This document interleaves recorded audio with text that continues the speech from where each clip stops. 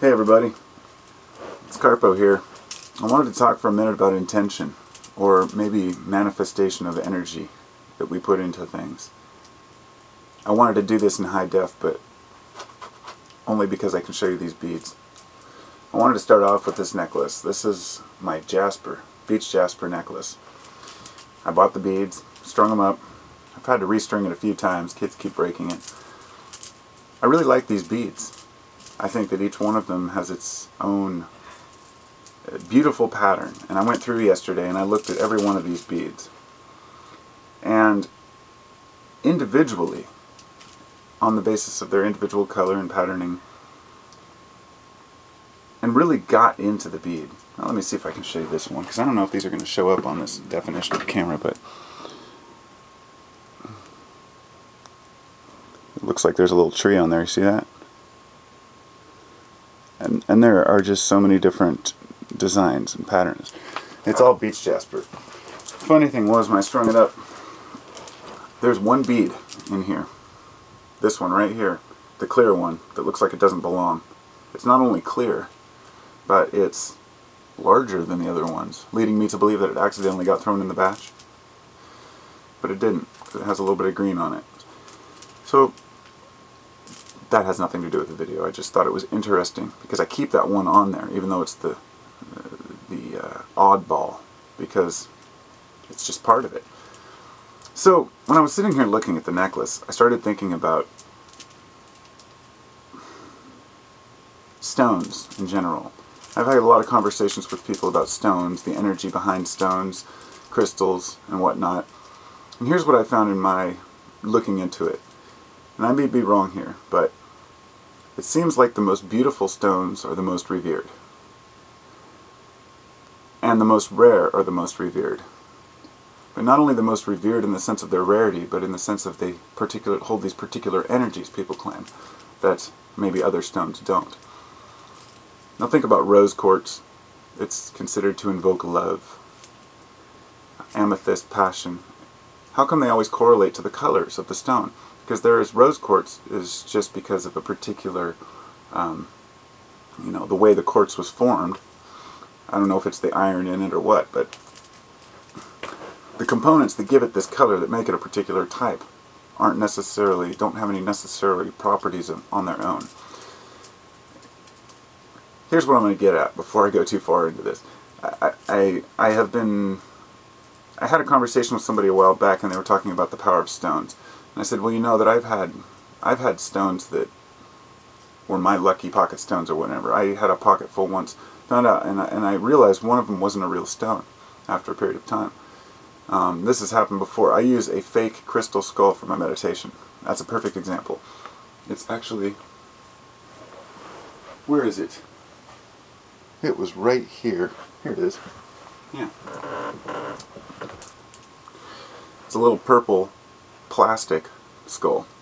I always wanted a crystal skull. Of course I can't afford one. My wife got me this for Christmas. And uh, I often set it up on my little puja table or whatever.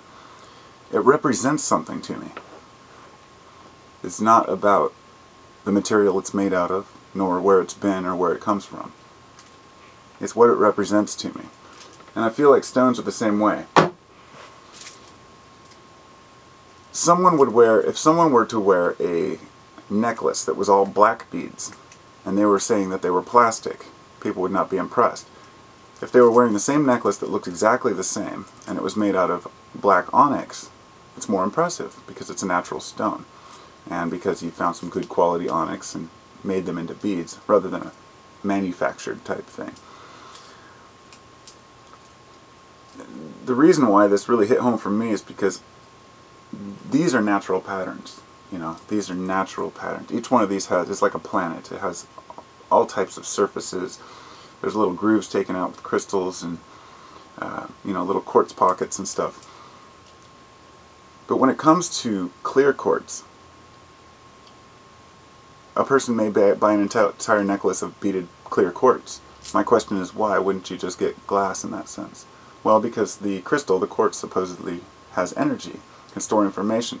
I'm not disputing these claims. I'm just I, I just know that there's not enough evidence to really support that crystal itself is uh, has any more um, ethereal energy than, say, a regular stone.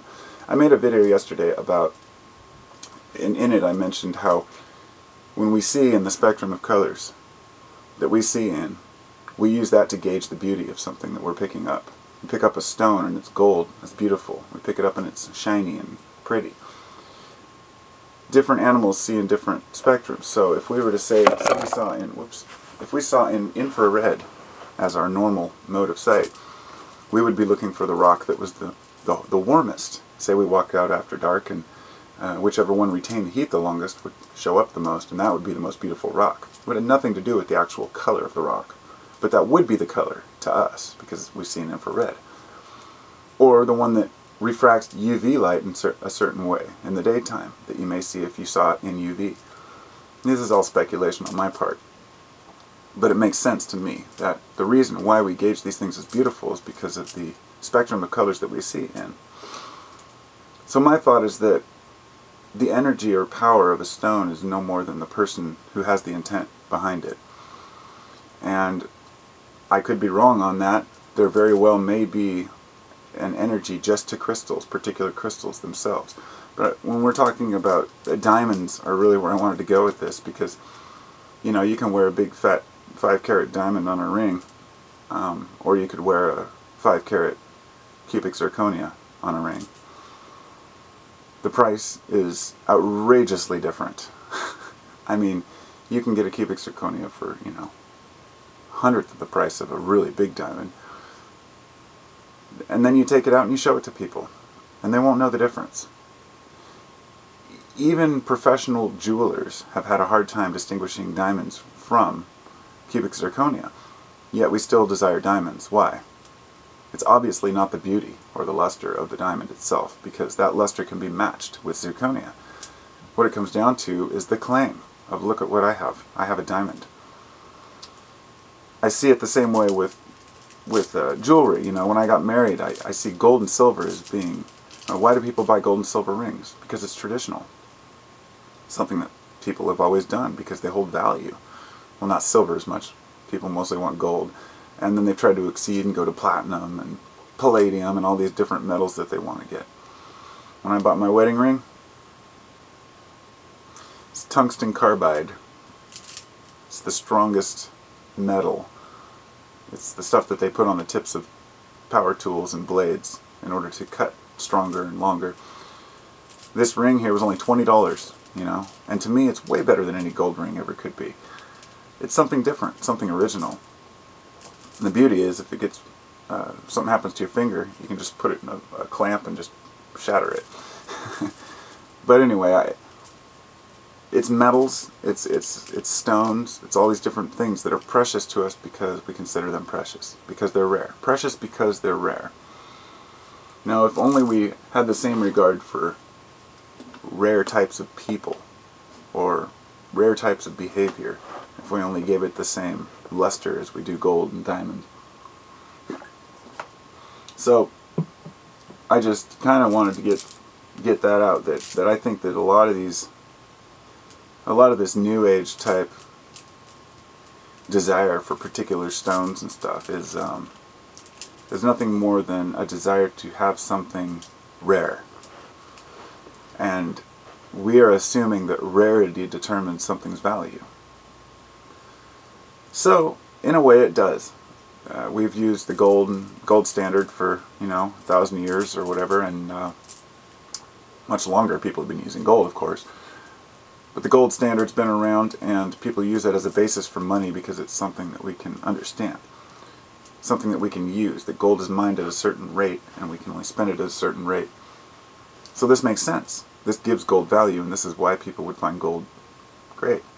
But when it comes to particular stones or rocks, I mean, how much value do they really hold beyond their beauty? And that was what I really wanted to say, was that this beach jasper, you know, I probably paid 20 bucks for these beads. Each one of them, I could spend all day studying. And there's something wonderful and beautiful about that. But why would I buy a necklace like this of all one color of stone? Just to say it's pure? Just to say, oh, look at the quality of these stones? In other words, I don't buy stones for their the idea of how pure or great they are. I buy them for their beauty, for their interest and their intricacy. And um, I just guess I just wanted to bounce that off people and say, what do you think? Do you think that crystals really hold particular powers? And if so, how much of that is manifest by mankind? How much of it is intent by the history behind that stone? How much of our own reality do we create? I don't like to spend a lot of money on fancy rocks and stones. I just like to buy pretty stuff and wear it for the beauty of it. But if this was plastic, then so be it. You know? That's the thing. I don't really like plastic. Maybe I'll go with glass, you know, glass beads. I've had glass beads that I thought were quartz or crystal for a long time. Find out they're not. So what? You know, they're just as pretty. But we want that energy behind the stone. So I guess my question is how much energy is really behind those stones? I don't know. We'll find out, or maybe not. Hope everybody's doing well today. I'm gonna, I'm gonna see if I can, before I go, show you some of these beads. And there's that big one.